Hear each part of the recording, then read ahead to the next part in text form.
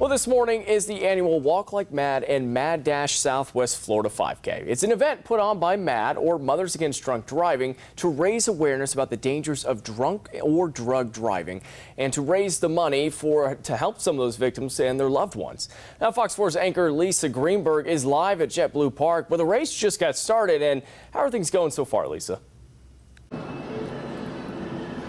Well, John, things are going amazing out here. I was just talking to one of the organizers of this Walk Like MADD 5K who was telling me that they surpassed their goal of how many people were registered. They actually had, as of last night, more than 400 people here registered for this event. And that doesn't include the people who just showed up this morning, walk up for that registration. So it is incredible. I'm excited to hear how many people exactly came out here later today. But it is a perfect morning here at JetBlue Park for a race. Now, Mothers Against Against Drunk Driving is just an incredible organization. They work so hard day in and day out to raise money and raise awareness for drunk and drug driving and the impacts that it can have on people's lives. I know that I've been working as a journalist here in Southwest Florida for almost nine years, and since the start of my career here, I have worked with Mothers Against Drunk Driving very closely to see the impacts they have on this community. They work with victims of drunk and drug drivings. For example, I met a woman from Charlotte County named Linda Benny years ago ago when her daughter died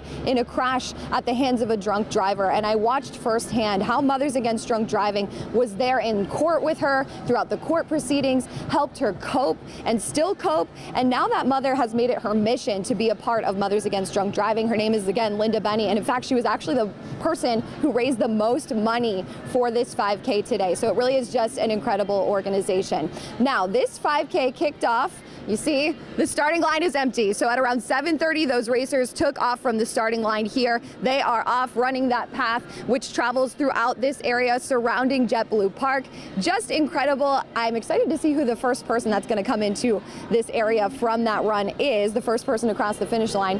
For now, though, I want to bring in Trish Rout. She is one of the chair people for Mothers Against Drunk Driving. Such an incredible organization. Thank you so much for being with us this morning, Trish. Thanks, Lisa. So this is a great day today. You you guys had an incredible turnout. Yeah, this is, you know, and the fact that we had so many people out here today, that's a testament to the fact that the people of Southwest Florida want to see an end to impaired driving. And by showing up this morning, by getting up early on a Saturday and spending that time with us, that just reinforces that the message is getting through and we need everybody to share that message because we would, we're striving for a society where we don't have to talk about impaired driving, where it's not an issue. But until that day arrives, we all need to, to step up to the plate and do the one thing that we can all do is uh, be responsible, always have a plan if you're going to imbibe an alcohol, and, and spread the word. Don't let your friends uh, drive impaired. I know that sounds like a cliche, but friends don't let friends drive drunk. Um, in this society, when you've got so many options, um, ride shares, good old-fashioned designated driver, drunk driving should not be an issue. So we just need everybody to step up to the plate and help us. Right, exactly. I know since the very beginning your mission has been no more victims. And it is crazy to think about the fact that there are so many ways to avoid this nowadays, but this continues to be the number one reason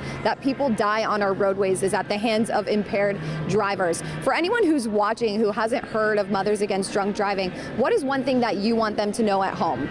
We want to, that, that MADD is, we are here to serve Southwest Florida exclusively for today's event. 100%, every single penny is going to stay right here in Southwest Florida to help families like Linda Benny's, uh, whose whose families have been impaired, uh, been impacted by impaired drivers. So when you're when you're supporting MADD, whether it's at this event or anything that we do during the year, know that you are making an investment in your community and helping these victims. Absolutely. Thank you so much for uh, taking the time. I know you're super busy this morning with everything that's going on today, so I appreciate you taking a few minutes to be with us. Again, this is something that we are watching throughout the rest of the morning. We are for those runners to come back into the finish line. We will check back in with you guys in just a bit, but I got to shout it out to Lauren, our meteorologist, because we could not have be had better weather for today. Of course, it's a little hot, but the humidity to start things off was a little bit lower. I think it's starting to pick up a little bit now. But honestly, Lauren, we couldn't have asked for a better forecast.